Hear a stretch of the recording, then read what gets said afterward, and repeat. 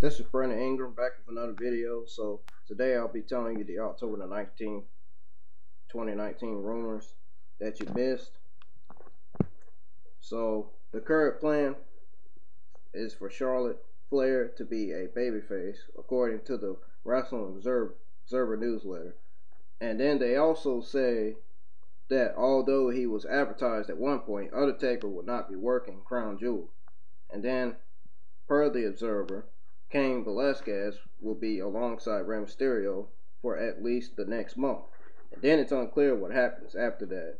So WP PW Insider notes that Warner Media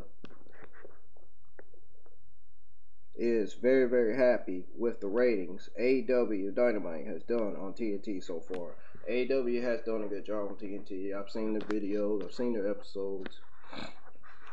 They done good so far with it. AEW is doing good, I'll admit. They they also say Stardom's sale to New Japan's parent company won't change its wrestlers from working with Ring of Honor. So that's all the rumors I have for you today. If you have any questions, comment down the section below.